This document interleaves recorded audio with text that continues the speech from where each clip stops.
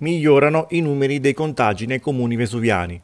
Nel comune di Torre del Greco, secondo il bollettino di ieri sera, si sono registrate 12 nuove guarigioni, certificati invece 9 casi di positività. Continua a mutare dunque il bilancio dei contagiati, con 93 attualmente positivi, di cui 9 ospedalizzati. Nel comune di Torre Annunziata invece non si è registrato nessun nuovo caso di contagio, a fronte di 71 tamponi processati.